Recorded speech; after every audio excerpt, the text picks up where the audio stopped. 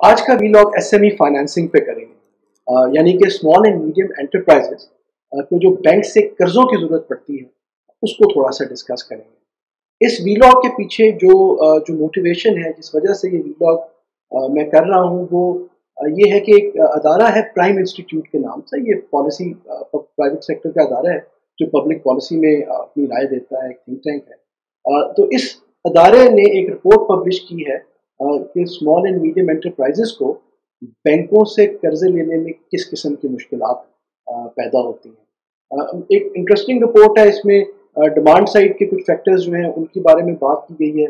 उसके अलावा supply side के कुछ फैक्टर्स हैं उनको एनालाइज किया गया है। लेकिन एक चीज़ ऐसी हाईलाइट की गई है जिससे ये तमाम फैक्टर्स जिस, जिसकी वजह से एस को कर्जे मिलने में मुश्किल होती है, वो पीछे रह जाते हैं, वो बड़े मामूली रह जाते हैं और एक, ये एक बड़ा फैक्टर है, जिसकी वजह से हमारे मुल्क में स्मॉल एंड मीडियम एंटरप्राइजेस को कर्जे नहीं मिल सकते हैं। तो उस चीज़ के बारे में भी थोड़ी सी बात करेंगे। किसी भी इकोनॉमी में स्मॉल एंड मीडियम एंटरप्राइजेस को उस इकोनॉमी की रीढ़ की हड्डी कहा जाता है। और ये बात पाकिस्तान के लिए भी दुरुस्त है। ये जो स्मॉल एंड मीडियम एंटरप्राइजेस हैं, ये माइक्रो एंटरप्राइजेस से थोड़े से मुख्तलिफ़ होते हैं।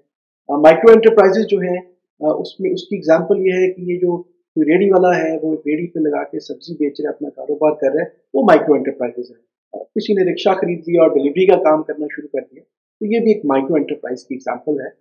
स्मॉल और मीडियम एंटरप्राइजेस थोड़े से नस्बता इससे ज़्यादा ऑर्गेनाइज और बड़े होते हैं। इसमें इस हद तक के जो मीडियम साइज़ एंटरप्राइजेस हैं ये 250 एम्प्लॉज तक के जो ऑर्गेनाइजेशन हैं, उनको जो है वो इसमें कैटेगराइज किया जाता है। पाकिस्तान के अंदर तीन मिलियन से ज़्यादा स्मॉल एंड मीडियम एंटरप्राइजेज मौजूद हैं।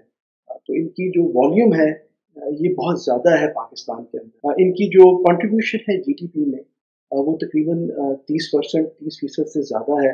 लेबर फोर्स को जो एम्प्लॉयमेंट मिलती है, उसमें चालीस फ़ीसद हमारी लेबर फोर्स है, उसको स्मॉल एंड मीडियम एंटरप्राइजेज जो है, उन्होंने एम्प्लॉय किया हुआ है। हमारी एक्सपोर्ट में जो कंट्रीब्यूशन है पच्चीस फ़ीसद वो स्मॉल एंड मीडियम एंटरप्राइजेस की तरफ़ से आ रही है। इसकी पोटेंशियल इससे बहुत ज़्यादा है। इसी तरह वैल्यू एडिशन की बात करें तो पैंतीस फ़ीसद जो वैल्यू एडिशन हो रही है पाकिस्तान के अंदर वैल्यू एडेड प्रोडक्ट जो हम बना रहे हैं, वो भी स्मॉल एंड मीडियम एंटरप्राइजेस में हो रही है। स्मॉल एंड मीडियम एंटरप्राइजेस की अहमियत इस लिहाज से भी ज़्यादा है कि अभी हमारी इन्वायरमेंट इतनी कंड्यूसिव ना होने की वजह से ये लोग ऑप्टिमल परफॉर्मेंस दे नहीं सक रहे हैं। और जब ये अपनी ऑप्टिमल परफॉर्मेंस देना शुरू करेंगे, ये तीन मिलियन से ज़्यादा बिजनेसेस तो आप सोचें कि कितनी सस्टेन्ड और हाई लेवल ऑफ़ ग्रोथ जो है वो अचीव की जा सकती है। अगर कर्जे के हसूल की बात करें तो मैं हज़ारों की तादाद में एस एम ई से पर्सनल बेसिस पे इंटरेक्ट कर चुका हूँ। मेरा कैरियर ज़्यादातर एस एम के गिर्द भी घूमता रहा। उसके अलावा बहुत सारी रिपोर्टें इस पर मौजूद हैं, जिनको हम पढ़ते रहते हैं। तो ये बात तो बड़ी क्लियरली इस्टेब्लिश्ड है कि एक गैर मामूली नंबर ऑफ़ एस जो हैं वो ये समझते हैं कि कर्जे का हसूल उनकी एक बड़ी ज़रूरत है। और उनको कर्जे के हसूल में जो मुश्किल आ रही हैं, वो उनके बिज़नेस की तरक्की में, के रास्ते में एक बड़ी रुकावट है। एस को कर्जे की ज़रूरत पड़ती क्यों है? तो इसमें तीन बुनियादी वजूहत हैं जिसके लिए कोई एस कर्जे के असूल की कोशिश शुरू करता है। पहली वजह यह है कि अगर उसको कोई बड़ा ऑर्डर मिल गया है, कोई लोकल डिमांड है या इंटरनेशनल ऑर्डर है और उसके पास इतने पैसे नहीं है कि उस ऑर्डर की ज़रूरियात को पूरा कर सके तो वो फिर जाता है बैंक से कर्जा लेने के लिए कि वो अपनी रॉ मटेरियल खरीद ले कोई लेबर की हायर कर ले बिजली वगैरह के बिल पे करके, जो प्रोडक्शन करे, उस प्रोडक्शन को करके वो अपना ऑर्डर जो है वो उसको पूरा कर सके। दूसरी ज़रूरत इसमें जो आती है वो आती है अगर एस एम ई को ये महसूस हो कि उसकी टेक्नोलॉजी आउटडेटेड है या उसकी प्रोडक्शन कैपेसिटी जो है वो एग्जॉस्ट हो चुकी है तो नई मशीनरी नई टेक्नोलॉजी के असूल के लिए वो तो लोकली या इंटरनेशनली इम्पोर्ट के थ्रू जो है वो कोशिश करता है कि उसको अगर कर्जा मिल जाए तो वो मशीनरी ला के अपनी फैक्ट्री में लगा सके। तीसरा जो जो ज़रूरत देखी गई है वो ये देखी गई है कि अगर एसएमई को अपनी सिविल वर्क करवाने हैं इंफ्रास्ट्रक्चर बिल्ड करना है अपनी फैक्ट्री के लिए कोई, या कोई गोदाम बनाना है, अपने को वेयर हाउस कंस्ट्रक्ट करना है, या अपनी रिटेल की कोई आउटलेट उसमें बनानी है तो जो उसके लिए इमारत उसकी ज़रूरत होती है सिविल वर्क और इंफ्रास्ट्रक्चर की ज़रूरत होती है, उसको बिल्ड करने के लिए ये तीसरी ज़रूरत है एस एम ई को कर्जा हासिल करने के लिए।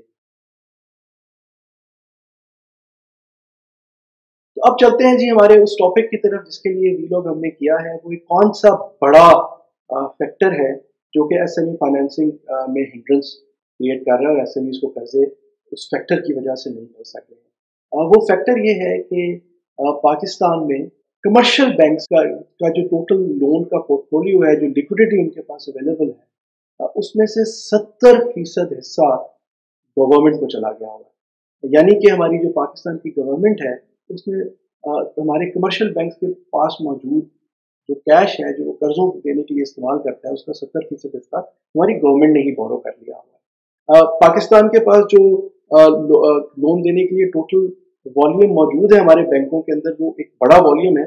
Twenty one point seven trillion रुपए के कर्जा जात हमारे बैंक दे रहे हैं। इसमें से सेवेंटी परसेंट यानी कि fifteen point two trillion rupees जो है, ये गवर्नमेंट ने ही बोरो कर ली है। और बड़ी मामूली थर्टी परसेंट जो रह जाता है उसमें से भी एक बड़ा हिस्सा, यानी कि फाइव पॉइंट सिक्स ट्रिलियन रुपए, जो कि ट्वेंटी सिक्स परसेंट के करीब बनता है, ये जो है, ये लार्ज साइज़ कंपनियाँ ब्लू चिप कंपनीज़ कॉरपोरेशन जो है, वो उनको चला जाता है। तो बड़ी एक छोटी सी अमाउंट जो 900 बिलियन एक ट्रिलियन से भी कम बचती है, चार फ़ीसद आप कह लें, जिसके अंदर हमने कंज्यूमर फाइनेंसिंग भी बैंक्स करते हैं। ये आप जब गाड़ी के लिए लोन लेते हैं, घर बनाने के लिए लोन क्रेडिट कार्ड के लिए लोन लेते हैं तो वो भी इसमें से होनी है। एग्रीकल्चर फाइनेंसिंग भी यहीं से होनी है और इसी तरह स्मॉल एंड मीडियम एंटरप्राइजेस को भी यहीं से कर्जे जाने हैं। तो वो 900 मिलियन में से भी, बल्कि जो एस फाइनेंसिंग का पोर्टफोलियो वो तकरीबन फोर्टी थ्री बिलियन या टू परसेंट रह जाता है। तो कहाँ पे आपके तीन मिलियन बिजनेसेस तीन मिलियन से ज़्यादा स्मॉल एंड मीडियम एंटरप्राइजेस और कहाँ पे कर्जे के असूल के अंदर उनका जो शेयर है, वो सिर्फ़ दो फ़ीसद तो ये एक बहुत बड़ी हिंड्रेंस है जिसकी वजह से जो है, हमारे मुल्क के एस को कर्जे नहीं मिल रहे और वो तरक्की नहीं कर सक रहे हैं। अगर हिस्टोरिकल ट्रेंड के हवाले से बात करें तो ये सिचुएशन हमेशा से ऐसी नहीं थी। दो हज़ार छः तक हमारे मुल्क में कम अज कम कमर्शियल बैंक से जो है, वो गवर्नमेंट कर्जे नहीं लेती यानी कि हमारे जो कमर्शियल बैंक है, उनसे गवर्नमेंट का कर्ज लेने का जो है, वो ज़ीरो पे था। गवर्नमेंट कर्जे नहीं लेती थी। उसके बाद से गवर्नमेंट ने कमर्शियल बैंक से कर्जे लेने शुरू किए। बावजूद इसके कि कमर्शियल बैंक्स के पास जो कर्जे देने के लिए लिक्विडिटी मौजूद है, वो कई गुना बढ़ चुकी है। यानी कि साइज़ ऑफ़ द पाए बहुत ज़्यादा इंक्रीज हो गया लेकिन उसमें से इतना बड़ा वॉल्यूम जब गवर्नमेंट कर्जे की शक्ल में ले जाती है तो जो पैसे अवेलेबल हैं, वो शायद बढ़ने के बावजूद भी बहुत कम और मामूली है जो कि स्मॉल एंड मीडियम एंटरप्राइजेस के लिए अवेलेबल है। अगर हम दूसरे मुल्कों से अपना खत्े में जो दूसरे मुल्क मौजूद हैं, उनसे अपना कंपैरिजन करें तो जीडीपी के मुकाबले में जो प्राइवेट सेक्टर को अवेलेबल लैंडिंग है, पाकिस्तान में ये अठारह फ़ीसद है। सर बांग्लादेश में ये फोर्टी फाइव परसेंट है और इंडिया में ये फिफ्टी परसेंट है। यानी कि बहुत ज़्यादा पैसे प्राइवेट सेक्टर के लिए अवेलेबल है बैंकों में बांग्लादेश में और इंडिया में और पाकिस्तान के अंदर हमारे प्राइवेट सेक्टर के लिए ये बड़ी, थोड़े पैसे अवेलेबल है। इसका सोल्यूशन इसी चीज़ में है कि गवर्नमेंट अपने लैंडिंग को, जो कमर्शियल बैंक से कर्जे लेती है, उसको थोड़ा सा कम करे। लेकिन ये बड़ी खम्बलिंग सी सोच है कि क्या हमारी गवर्नमेंट ये कर भी सकती है अपनी लैंडिंग को रिस्ट्रक्चर क्योंकि जिस हद तक हमने कर्जे लिए हुए हैं, क्या ये पॉसिबल है कि कमर्शियल बैंक से रिस्ट्रक्चर करके उनको पैसे वापस करके वो कर्जे जो हैं वो किसी दूसरे मुल्क या किसी इंटरनेशनल फाइनेंशियल इंस्टीट्यूशन से लिए जाए? तो ये एक सवाल है, मेरे पास इसका जवाब नहीं है। लेकिन एस एम ई फाइनेंसिंग के हवाले से देखा जाए तो इसके अलावा इसका कोई हल भी नहीं है कि बैंकों के पास ज़्यादा पैसे प्राइवेट सेक्टर के लिए अवेलेबल हों और उसमें से जब एस एम ईज को वो टारगेट करने जाएँ तो वो ज़्यादा एफर्ट और ज़्यादा मेहनत करें ताकि वो उस पैसे को जो है वो किसी प्रोडक्टिव इस्तेमाल में लगा सके।